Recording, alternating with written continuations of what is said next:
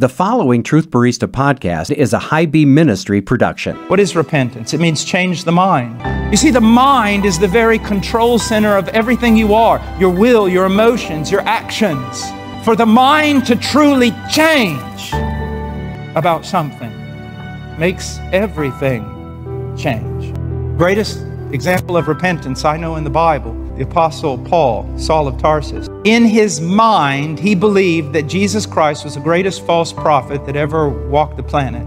In his mind, he believed that the Christians were enemies of the people of God and enemies of God and should either be imprisoned or killed. That's what he thought with his mind, and that's the way he acted. He went to hunt them down. He stood there at the stoning of Stephen and agreed with it because he thought in his mind that Jesus was a false prophet and that Christians were the enemies of God.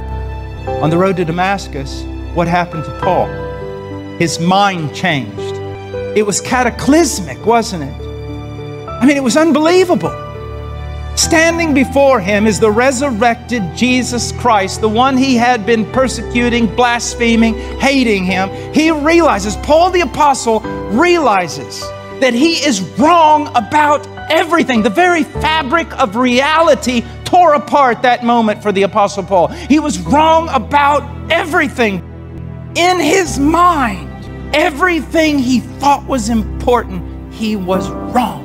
Only to find out he's the Messiah and the Son of the living God. He goes to Damascus, believing in Jesus Christ, proclaiming Jesus Christ, and giving his life for the people of God. He repented your emotions, your actions, your will, everything will change. Just like Paul.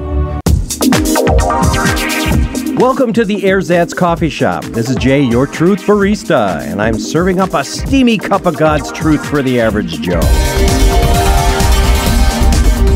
You can catch me and this podcast on my websites, truthbarista.com, all one word, truthbarista.com, and highbeamministry.com. That's H I G H B E A M ministry.com, as in car high beam. We're shining the light of God's truth on the road ahead. Truth Barista, here you go. I oh. brought you coffee, and yeah, you look so happy today and I hope you're rested and, and all this tumultuous stuff going on in the world, well, it doesn't seem to affect you much. No, you know why? Because I am the manager of a coffee shop that has to deal with this crowd, a very hungry crowd at breakfast who haven't had their coffee. I am sorry, no matter what happened at the beginning of January, that can't hold a candle to the crowd in here. Especially as we're getting close to the weekend. Man, they get antsy. Well, yeah. Uh, last week, you just did a fabulous job in our conversation about this tumultuous time in early January. And I, and I just appreciated your insight and your commentary on that. It just gives perspective from a different angle than what we mostly hear in media or what we read in print. I started just writing things down on a notepad, as you've seen in the back there. Right. Well, I'm just responding to the things that the customers are talking talking about and how to answer these things. I mean, they were talking about how angry everybody is. So we talked about her anger and, and then we started talking about, well, how are we to respond? Well, that's the righteousness thing we talked about. We need to respond God's way, not the way we necessarily want to, which would be the world's way, like clocking somebody that that disagrees with us. Wow, clocking. you know, just punch him in the face. Wow. Get it? Clock face. Hmm. okay, I guess it's time to move on. Yes, it is. okay, can I just go through some of these? Absolutely. Okay, Absolutely. That, one of the ones I wrote down at the top is I'm beginning to realize, and I'm kind of again talking just to the Christian community here. Many of our people have a lot of faith in people and a lot of stock in government. Mm-hmm. You know, and it's it's kind of like we focused on the world rather than focusing on God. Now we have to realize that yeah, we are under the the hand of man, so to speak, but government is under God's hand. Daniel 2 is one of my favorite books by the way. Mm-hmm. Daniel 2 20 through 21 says Daniel writes, May the name of God be praised forever and ever, for wisdom and power belongs to him. He changes times and seasons. He removes kings and establishes kings. See, the inescapable truth is God is in total control. But how would you suggest when people say that, or if you were preaching that, I mean, and somebody comes up and says, well, how can a, an administration be supported by God who kills babies and does everything dark, everything that's opposite God's truth? How can you support that administration? That is a very excellent question. Number one, we as Christians don't have to support it. Mm-hmm. Okay, we can resist it. I mean, we talked about it in the Obey God and Man. Mm-hmm. We work with government and support it as long as it's adhering to God's standards. When it begins to diverge from God's standards, we have the right to speak. Well, at least for now. Yes.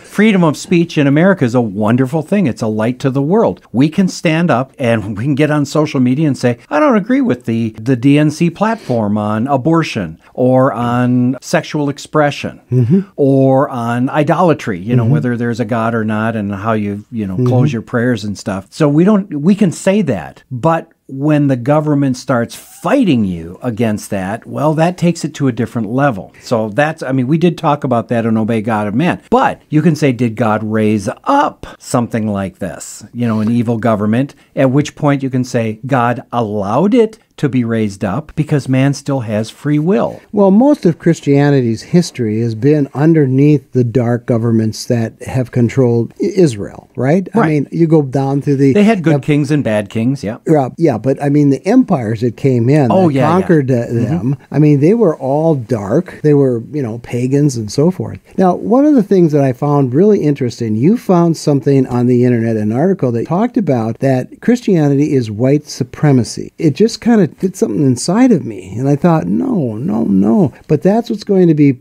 promoted mm-hmm. and that's where the persecution is going to come from because it is written by Jews and I guess Jews are still sort of white Jews are multicolored. Christians are multicolored. That's the glory of God's kingdom. It has swept around the world into almost every culture, into every race, et cetera, et cetera. But this is the point that I really am focused on here. And this is what tempts me to get a little bit angry is that it seems that the left politically claims the right to read into our words whatever they want it to mean. Mm-hmm. See, they don't take and ask us what we meant by it. They don't even care because that doesn't further an agenda. So the left has a tendency to, in fact, an agenda, to read into our words what they want it to be, parrot it back and say, This is what you said, and therefore we will prosecute you on what we say you said. And so hmm. you hear people talking about Christianity, and traditionally, Christianity is perceived as a Western religion, even though it's embraced by all colors, mm-hmm. all races. Well, that's the You know, all this throughout the West. That's the lie that's being used as an excuse to attack. What they're really attacking is God Yes, they are. and his truth because God and his truth reveals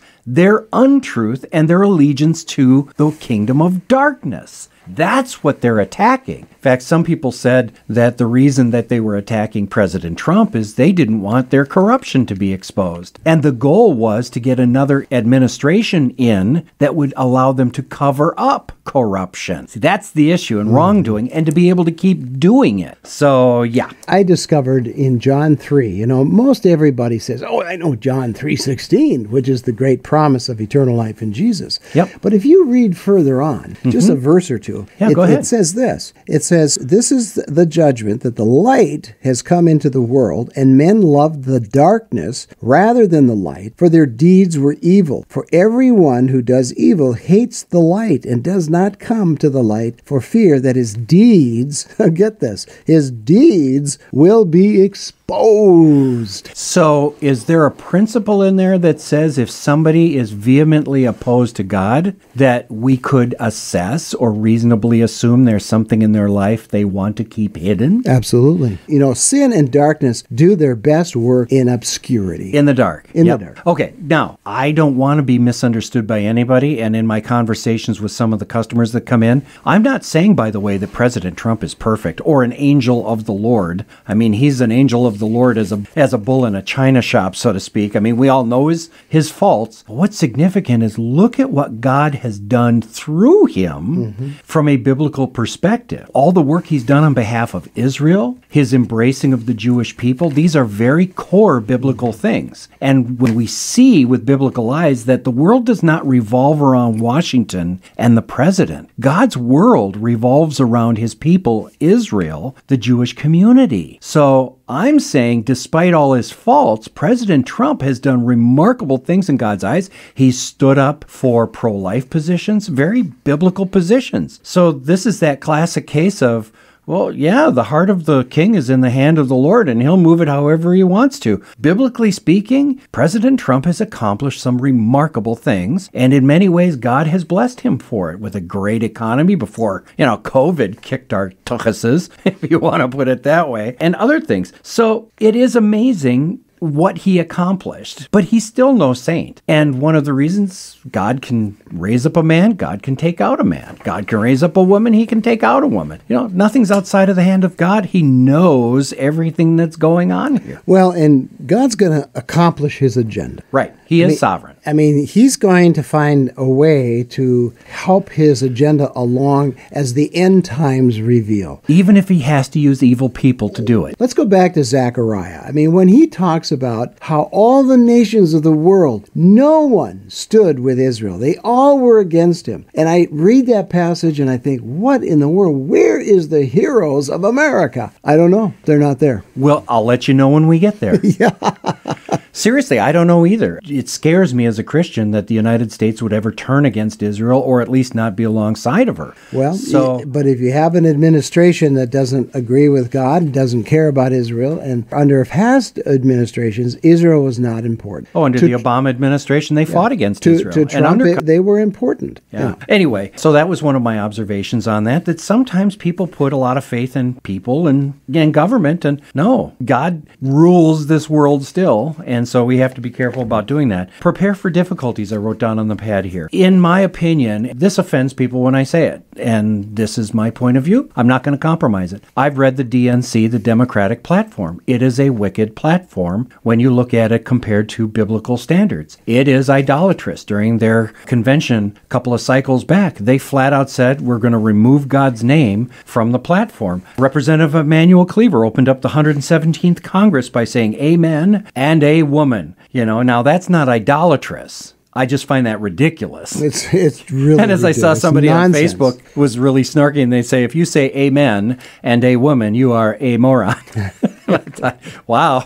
That that's was, good. That's good. That's kind of funny. Actually, well, sometimes ridiculousness has to be called out. But what disturbed me the most is he invoked, and he said this We ask it in the name of the monotheistic God Brahma, and God known by ne- many names by many different faiths. Although he is an ordained United Methodist pastor, Representative Cleaver prayed in the name of a pagan god and simultaneously totally misrepresented the one true God by identifying him as the same as the idol gods whom Jesus defeated at the cross. The Democratic Party platform rejects the one true God. The platform is immoral. It embraces sexual expression of any kind and any combination, and more so, rejects God's standard of one man and one woman in a marriage covenant. And finally, the platform embraces the shedding of innocent blood, abortion, at any time, in any way, and now they've even embraced infanticide that if the baby is born, you can let it die. This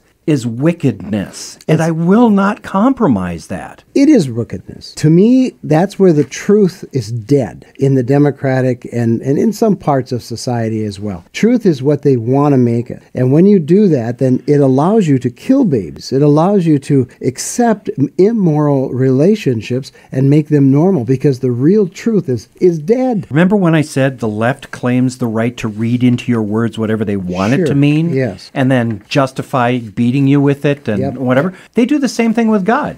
But God, this is what you meant by this, so mm-hmm. therefore that allows us to do what we want to do. Mm-hmm. That all goes back to the original satanic lie. Did God say? Mm-hmm. See, it's the exact same thing. Now, people don't like to hear that and they bristle when they hear that, but that is the truth. They are reading into it what they want it to be so they can justify their action. Yeah, I, I need some coffee here. and- Oh, yeah, I, am glad. I'm glad you came to that conclusion, Truth Barista, because yes, I'm going to go get some for both of us.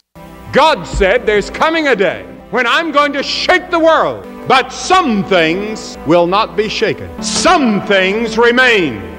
In other words, there's coming a time when the world will be pressed and there'll be no way out. But in the midst of all this changing, there's some things that never change. Think of it a moment. What never changes? The nature of God doesn't change. God hasn't changed. He hasn't changed to adapt himself to our generation. God is unchanging. I am the Lord God, I change not.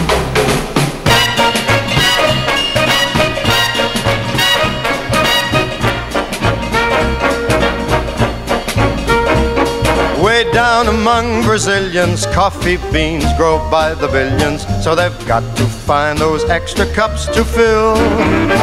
They've got an awful lot of coffee in Brazil. Truth Barista, every week we talk about things that are so important, but we want our audience to know that, you know, there's a cost to this stuff.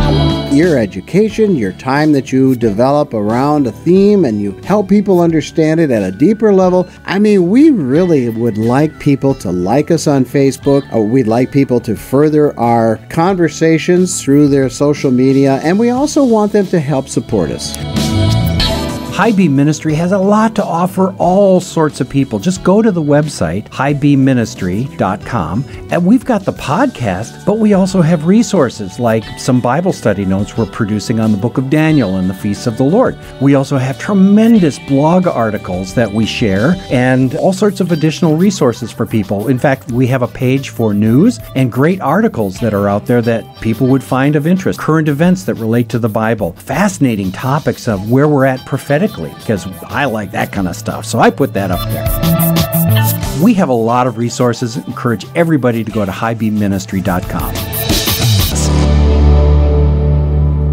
Well, Truth Barista, our conversation is just fascinating to me. I'm learning some, you're encouraging me, you're helping me to understand that I have to be better at the truth that I say I serve. So that means I've got to make a, a, fresh commitment, just like this fresh coffee I gave you, a fresh commitment to being a person of truth. Because today in the world, that truth as we know it is dead. Mm-hmm. And the people that don't like the truth, according to the Bible, are referred to as the wicked. That's right. And the Bible, fascinatingly, has a lot to say about what happens when the wicked are in power. Listen to some of these I've kind of scratched in the margin here, okay? From Proverbs 11 11. A city is built up by the blessing of the upright, but it is torn down by the mouth of the wicked. Hello? Can anyone say riots and arson? So, if the wicked are in power, prepare for difficult times. Proverbs 29 2. When the righteous flourish, the people rejoice, but when the wicked rule, people groan. Just now, a second. Uh, Uh, is that a good groan? hey, Gewalt!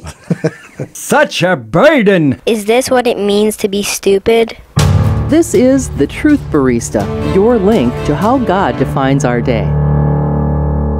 So we need to prepare for difficult times. Here's another one from Psalm 12, verse 8, from the Amplified Version. The wicked walk or prowl about on every side as vileness is exalted and baseness is rated high among the sons of men. So let's face it, with, with the ascension, so to speak, of power amongst a party that has such a wicked platform, yeah, there could be very dark times ahead. We need to be prepared for that as Christians. So, can we move on to another one here? Yeah, I'd love to. Yeah. Okay, say, uh, yeah, please. Yep. Okay. As I was thinking back on all this and talking with the patrons, did we or do we place more faith in man than in God? Well, we do, and in some ways, we make idols out of things. And isn't that kind of like the first commandments of the Ten Commandments? He talks about idols. I mean, he, he put a lot of importance on that because he knows how wicked our hearts are, and we make these idols. And an idol is anything we put above God. Absolutely. Or in his place. So we do the same thing with leaders and sports figures and other esteemed people, but no man, no thing can take God's place. In fact, I like what he says in Isaiah 42 8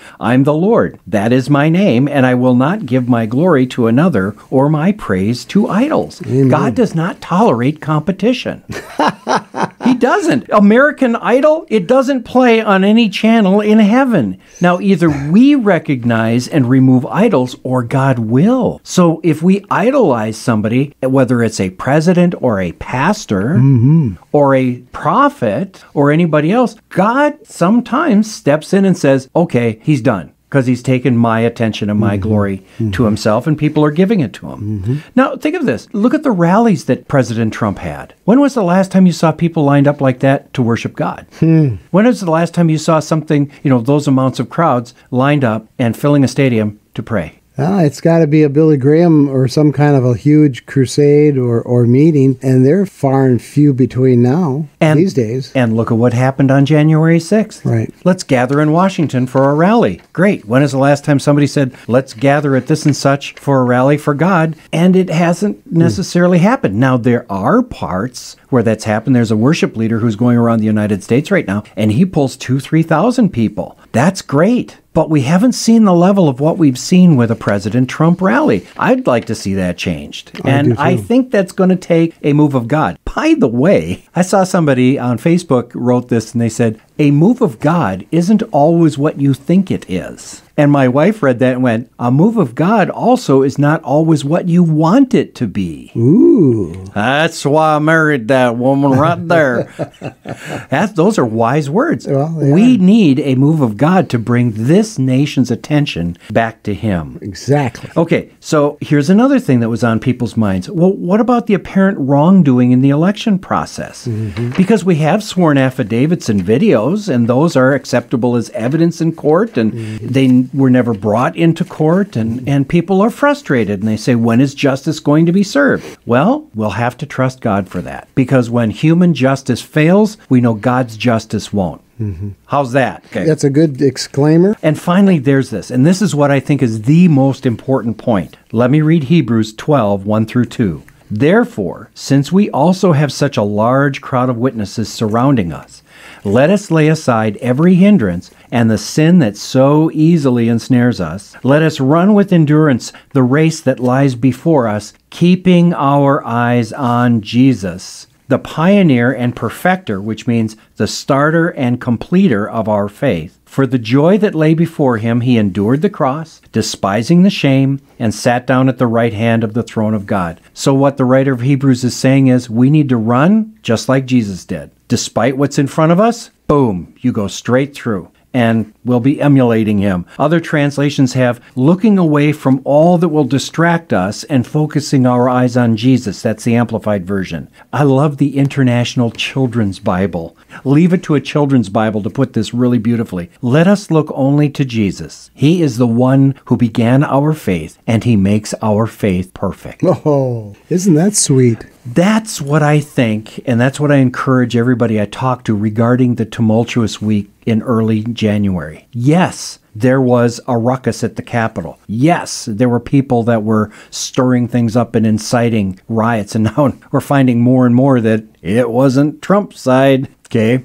And we're also finding, you know, all of the impeachment stuff and all of these things that are swirling around us. We can't fix our eyes on that. If it does, we'll get frustrated. If we do, we get angry. And if we get angry, it doesn't create God's righteousness. However, if we fix our eyes on Jesus, then we see his perspective on all of these events. We can see that frustration level drop, pulls the plug on anger, and we trust God more and we can walk with righteousness his way. But we have to keep our eyes fixed on him. So, Truth Barista, even if we have a bad administration, keeping our eyes on Jesus will help us to say, okay, what does the Bible say? What does the truth say about our enemies? It says we pray for them. Paul says it beautifully in Romans, and we've covered this in Obey God or Man. We need to pray for the leaders. We need to pray that they do things righteously because God can make people do things that are righteous unexpectedly. I mean, once again, case in point, President Trump. who'd have thunk, right? Who would have thunk? You know, who'd have thunk? But also, I like what Peter says. He's talking about uh, in his letter, he says that we need to honor the brother and the sisters. We need to love one another. We need to get along. On one phrase, he says, honor the emperor. Now, Peter is speaking to the Christians, the Jesus followers, both Jews and Gentiles, around what they would call the diaspora, who are spread out all over the Roman Empire at the time. And when Peter is writing this, these Roman emperors were not the best people. There was Nero in the middle of the century, and then there was Domitian, who followed a couple of emperors later, who really hit the Christians and the Jews with, with some terrible persecution. And Peter is saying, listen, honor the emperor in the middle of this, even if we find ourselves, whenever we find ourselves, uh, either under a difficult, let's say, a difficult boss, or a difficult, unruly mayor, or governor, or president. We may not agree with them, and we do have the right at this time to express that disagreement. But there is an honor to the office that we as Christians do need to express. So that attitude has to carry over on social media. I mean, that's where Christians oftentimes really show their colors. Instead of arguing with perhaps a policy, let's continue to say, I don't agree with the policy, that's fine, but I'm going to pray for the administration. I am going to pray that they will be convicted or whatever. God has his way. So when I go on on social media and my representatives or senators say something that I totally disagree with, I can either get on there and be an unrighteous troll That's and say. You're a jerk. if you had half a brain, you wouldn't write that kind of stuff. You know, I could say that. And I'm very tempted at times to say that. But the right thing to say is, I don't agree with that. And this is why. Keep it short, keep it sweet, and let it go. And be prepared, by the way, for people to troll you. You're not responsible for them. We are only responsible for us. Because we will stand before the Lord for what we say. We will not be judged for what they say. Well, you know, every word will be judged, right? Isn't Yep. that what Jesus said? Yep, I mean, and- will we be embarrassed by some of the words that we've used in this tumultuous time of, of Do we really want to watch the replay? yeah, and and you know the question I always think is he's going to say, "Well, how did you represent me? What did you say on my behalf?" Now, I, and I'm not telling people to be doormats. No, either. not at you know, passionate, Yes, Ugh, yes. Passionate discussion, nose to nose discussion. That's great, but we can do it without being angry, and we Mm-hmm. can do it without being unrighteous. Now, I like this. What it really comes down to is these last things here. It's like let's remain humble before God and men. Humble yourselves, therefore, under the mighty hand of God, so that He may exalt you at the proper time. And Peter, by the way, that's First Peter five six, and Peter would know a lot about humbling, right? under the mighty hand of God. Yes. And again, that doesn't mean being weak or wimpy or a doormat. We can be strong, even passionate, and still be humble, for our confidence is not in us, but in the Lord. And by the way, I found that verse, 1 Peter 2.17, and we'll close with this and go back for the lunch rush. Honor everyone. 1 Peter 2.17. Honor everyone. Love the brothers and sisters. Fear God. Honor the emperor. Amen. This is The Truth Barista, your link to how God defines our day. Now here's what's next. You cannot change the seasons. One of the things to, you know, come to grips with is what you can change and what you cannot change. You cannot change the seasons, but here's the next phrase, but you can change yourself. Therein lies the chance to live an extraordinary life. Learning to change yourself. This is Jay, your Truth Barista. Thanks for listening to the Truth Barista podcast. The best way to find out when a new podcast drops is through RSS feed. Go to our website, look for the RSS button, press it, and then enter your email. You'll be notified when a new podcast drops. Thanks for listening.